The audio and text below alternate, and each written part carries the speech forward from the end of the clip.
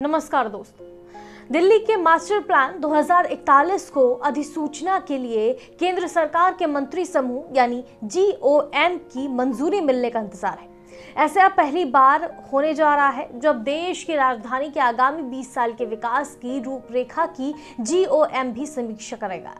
इस जीओएम में गृह मंत्री अमित शाह वित्त मंत्री निर्मला सीतारमण और आवास एवं शहरी विकास मंत्री हरदीप पुरी सहित कई अन्य मंत्री भी शामिल रहेंगे।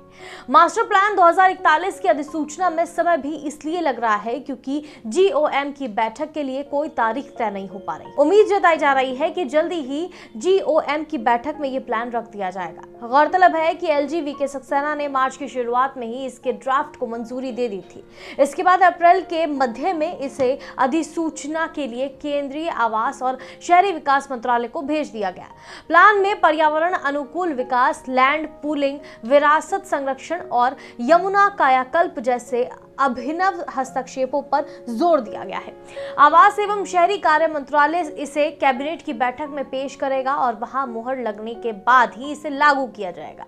हालाँकि मास्टर प्लान का 80 फ़ीसदी हिस्सा ऐसा होता है जो पहले से ही तैयार है।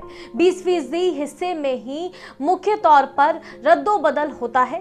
या फिर नए प्रावधान जोड़े जाते हैं। लेकिन इस बार के मास्टर प्लान के ड्राफ्ट में एक ऐसे प्रावधान को हटाया गया है, जिसका दिल्ली पर दूरगामी असर पड़ सकता है। ये बदलाव है लोकल एरिया प्लानिंग का।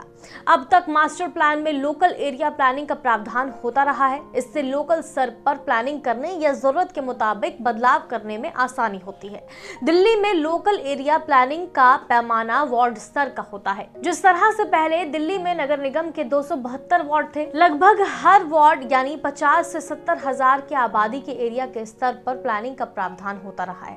बताते चले, मास्टर प्लान 2041 शहर के भावी विकास को निर्देशित करने के लिए एक रणनीतिक और सक्षम ढांचा है, जो पिछली योजनाओं के क्रियान्वयन से सीखे गए सबक पर आधारित है। साथ ही कई परियोजनाओं, योजनाओं के क्रियान्वयन को लेकर देश भर से सीखने पर आधारित है।